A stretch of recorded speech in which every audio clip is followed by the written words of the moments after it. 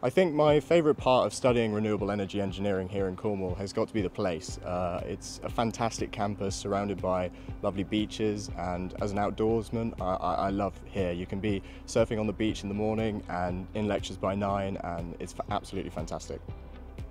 The course has helped me to kickstart my career by focusing early on on renewable energy. I always knew that I wanted to work in the sector and being able to learn not just the base engineering modules but also being able to learn about the renewable technologies and focus early on gave me a head start and when I was applying for internships between the second and third year I was able to talk about renewables and share my knowledge with the hiring managers and they were really interested in what I had to say so then when I worked in the renewables sector between second and third year, uh, I found that I could actually make a little bit of an impact and they were really happy that I was able to share that knowledge and they've invited me back. In the future, I hope to take everything that I've learned during these uh, three years in the Renewable Energy Engineering course and take that into the industry. So initially, I'm going to work in hydrogen and I'm going to try and learn as much as possible about the sector and hopefully have a small impact in building the economy and energy system of the future.